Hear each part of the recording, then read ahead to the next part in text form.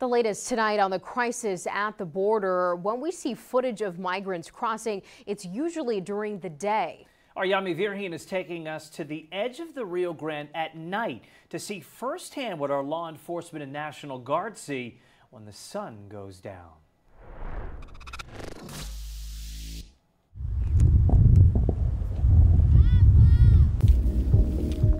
It is hot, difficult to sometimes get around and now part of the Rio Grande here in Eagle Pass looks like this. People are dying every day because of what the governor's doing.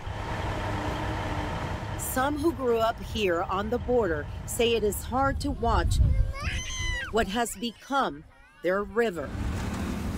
When you see a state agency pushing out a federal agency, Democrats, that is big. And Republicans alike, y'all are the ones that are trespassing, don't like most of the changes. But with hundreds of thousands of migrants crossing, the state of Texas and the federal government are at odds on who is in charge of immigration and what to do to stop the flow of hundreds of thousands of migrants crossing every day.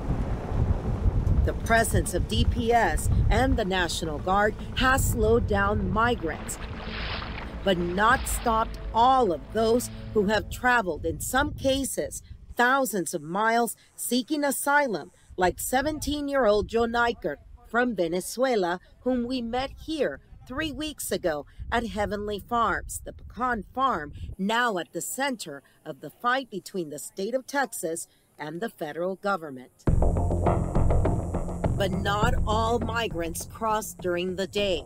Some jump into the river when night falls. Pretty dark as you can see. From Heavenly Farms, we watched in the cover of night.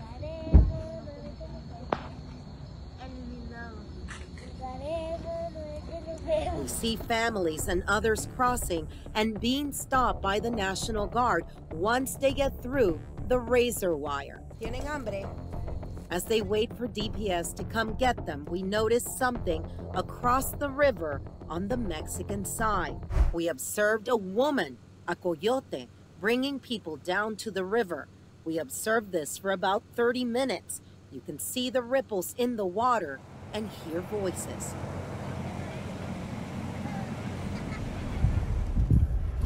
As we continue down the dirt road, we see more National Guard. There is a holding area that we have shown you in previous stories that looks like this during the day. You cannot see it now. And when we get to the top of the property, DPS and Border Patrol are waiting to receive from down below by the river the group that has come in during the last two hours. Around 11 o'clock at night, we start seeing the migrants be led up. In the darkness, we can make them out including the children.